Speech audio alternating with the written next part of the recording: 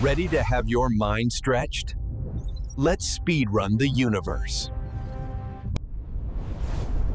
The universe began about 13.8 billion years ago. The universe began about 13.8 billion years ago. There are more stars than all the grains of sand on Earth. Only 5% is normal matter. The rest is dark matter and dark energy.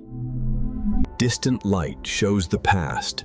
Space is a time machine. Black holes warp spacetime so much that even light can't escape.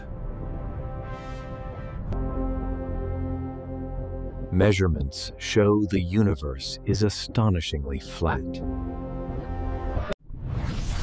Neutron stars pack sun mass into city size, insanely dense.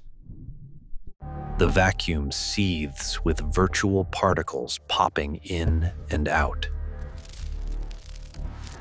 Some models suggest our universe could be one bubble among many.